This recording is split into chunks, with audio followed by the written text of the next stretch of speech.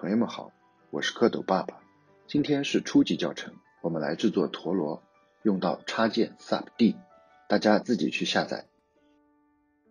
画一个尺寸一千乘一千的正方形，挤出二十，按住 Ctrl 再挤出五十，将顶面缩小为零点四倍，拉高三百，再将顶面缩小为零点三倍，拉出四百五，顶面缩小为零点五倍。